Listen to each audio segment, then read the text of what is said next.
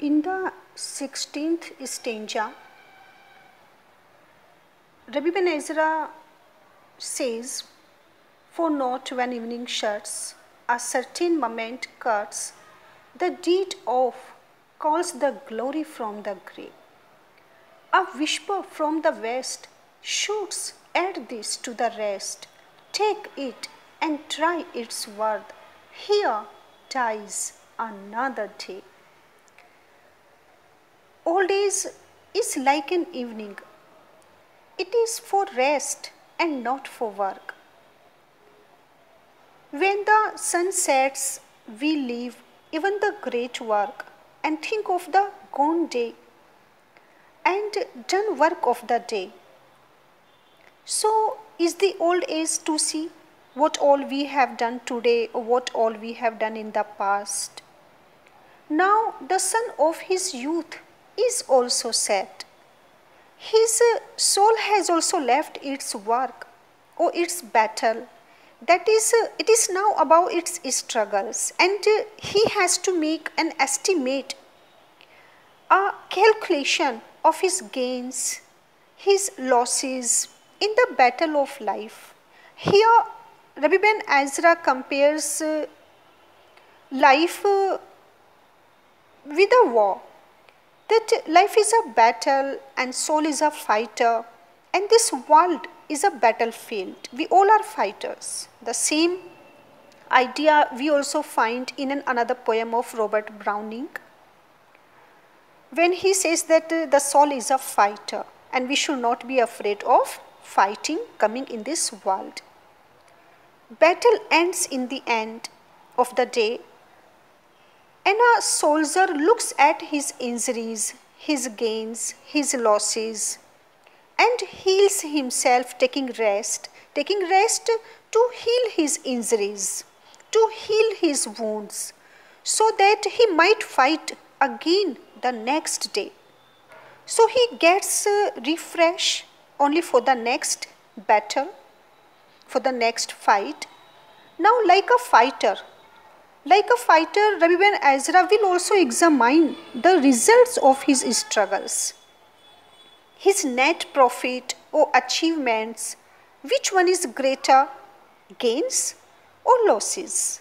And he will also see whether the battle his soul fought in the last days, in the last time, in his youth, or in his past time, whether the battle was right or not, or it was only based on his ego.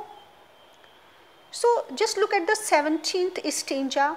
So still, so still within this life, thought lifted over its strife.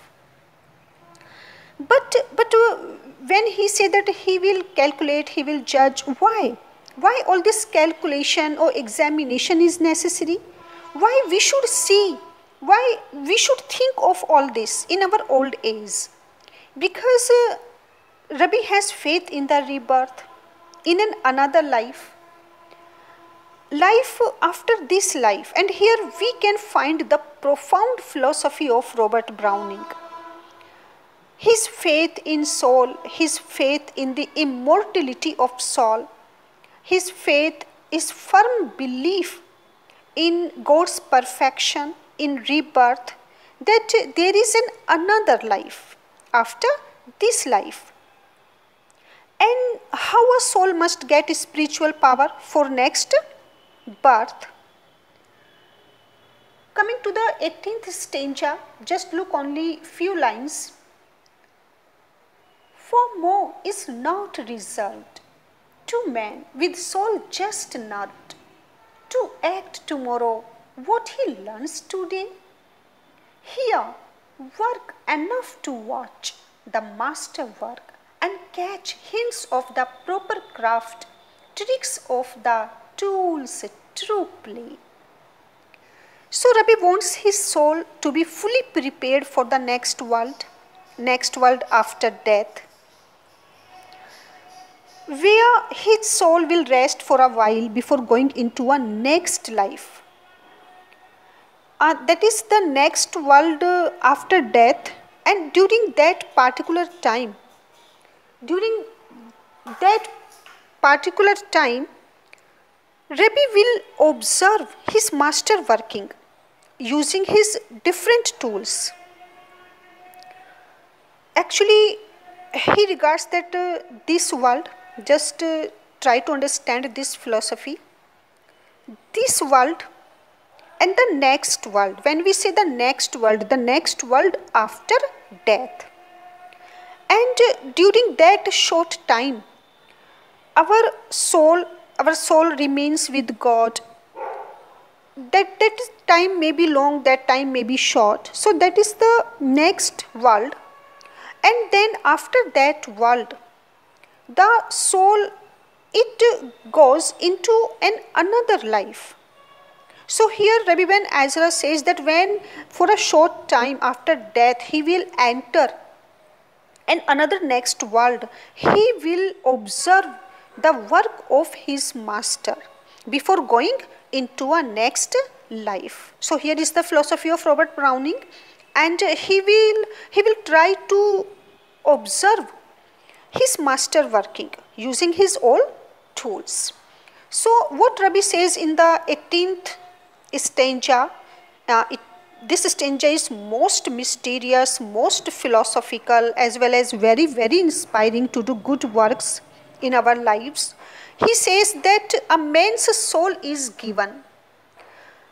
A man's soul here that is uh, a man's soul is given only such power in the next life as its knowledge can buy if i focus only on this stanza right just uh, give me some time and let me focus completely only on this stanza for more is uh, not result. It is so mysterious. And let me explain to you in detail. He, he says here that a man's soul is given only such power in the next life as its knowledge can buy. Means it is only knowledge. It is only knowledge that can buy power to it. The more knowledge a soul has, the more power will be available there or will be provided for the next life by God. So, knowledge, we can say that knowledge or learning is just like currency, currency of that world.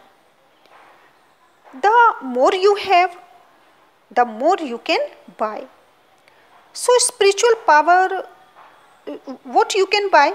So spiritual power is very very important for a human soul and it can be achieved only through learning to start a new life or to start a new journey. And that is all in all, all in all for a human soul. Therefore, to act tomorrow what he learns today. Therefore, what we learn today will give power to our soul and with that power, that is spiritual power, our soul will be able to fight the battle of life in the next life. Are you getting this point? That our soul will be fully power.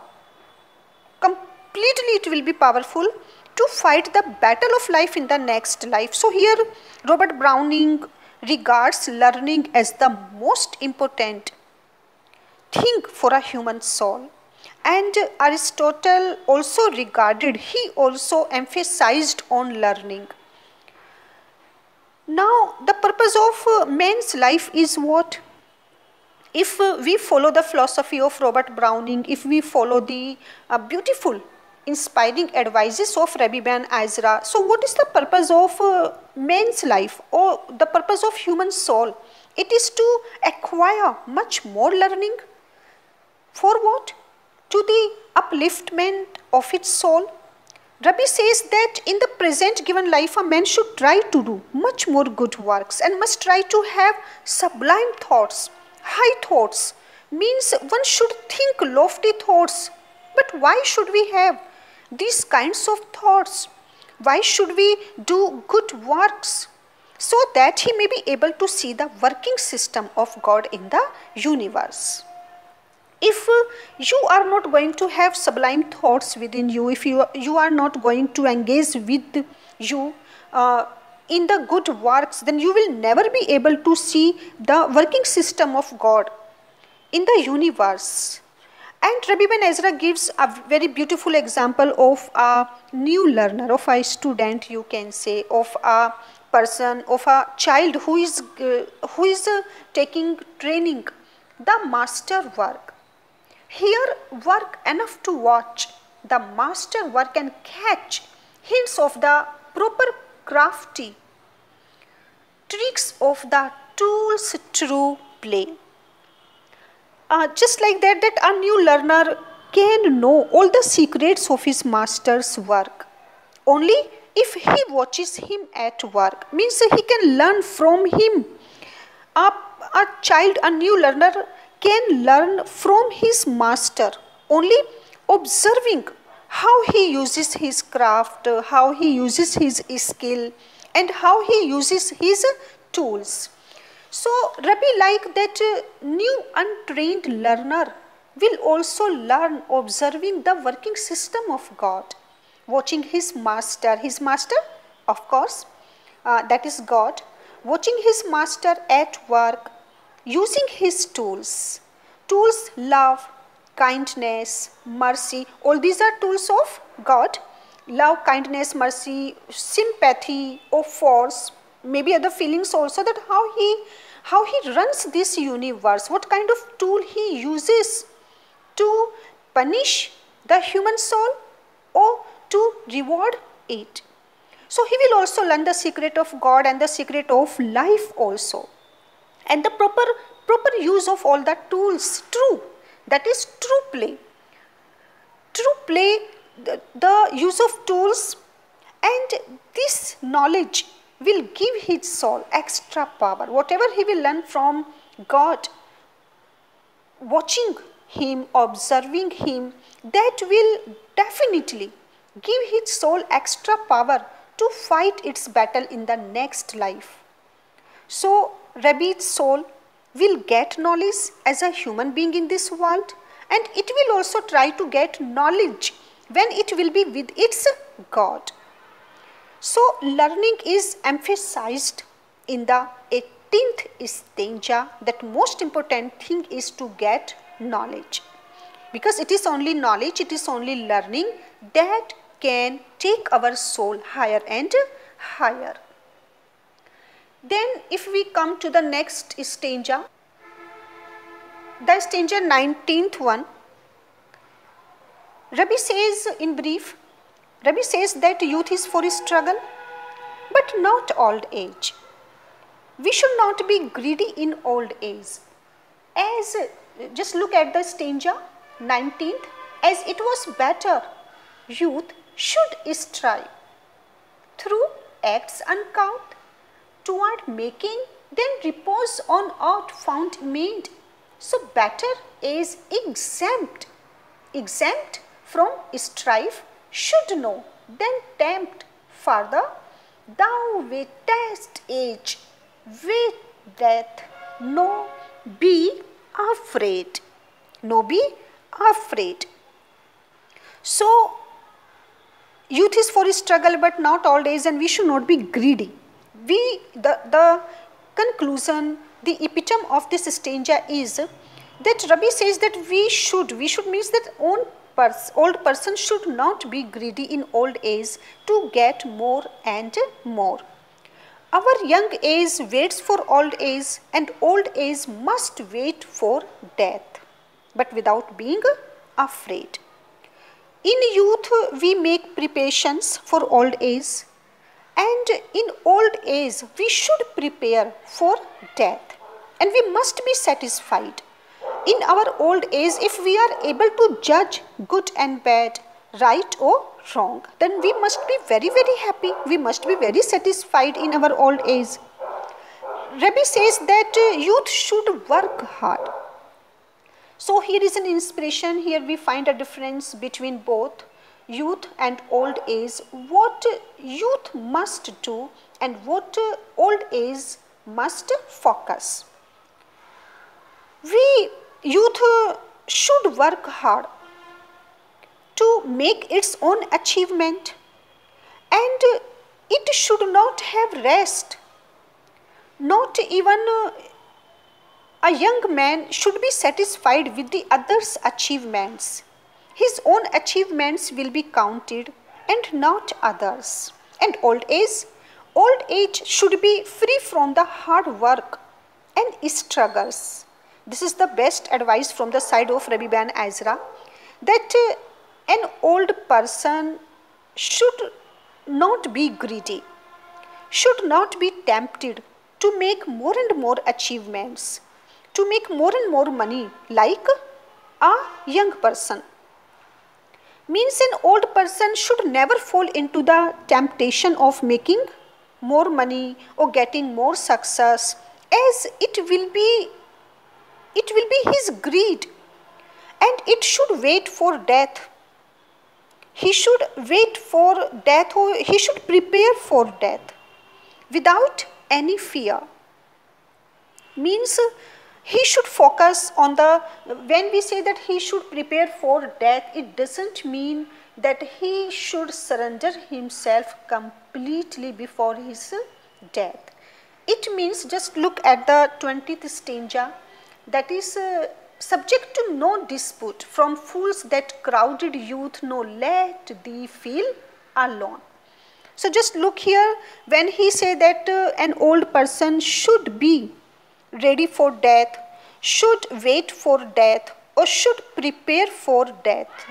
He means uh, he should focus on the inner self, on his spiritual world. He should care for his spiritual world and for his uh, soul's upliftment and he should not focus on worldly people, worldly achievements.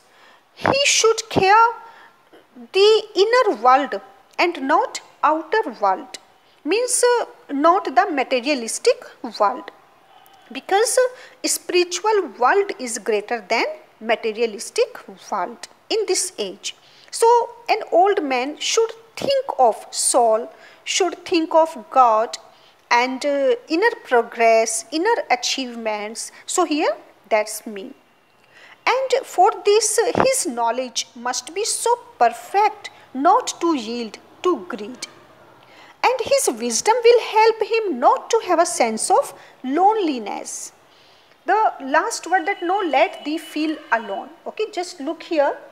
This uh, word that uh, no let thee feel alone.